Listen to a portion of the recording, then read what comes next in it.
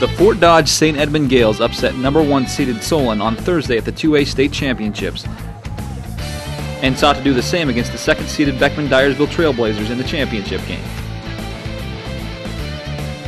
Scoring broke open right away with two from St. Edmond in the top of the first on a 2 RBI John Engler double.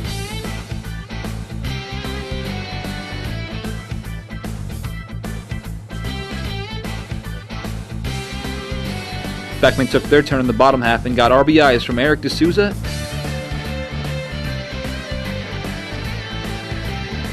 and Travis Rahi to tie it at two.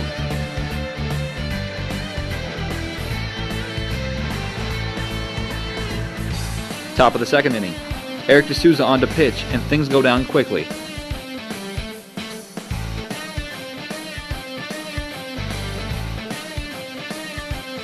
Six hits, four walks, and a hit batsman by D'Souza and two other relievers make it 10 2 after the inning.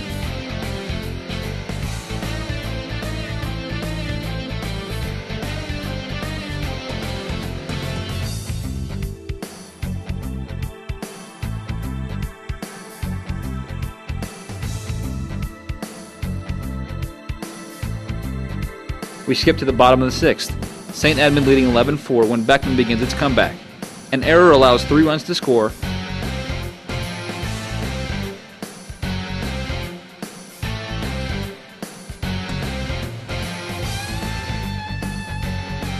Followed by a Travis Rahi RBI double scoring Eric D'Souza. It's 11 8.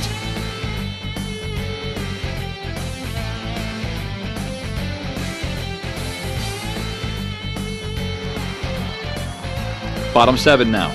Isaac Willenbring at the plate.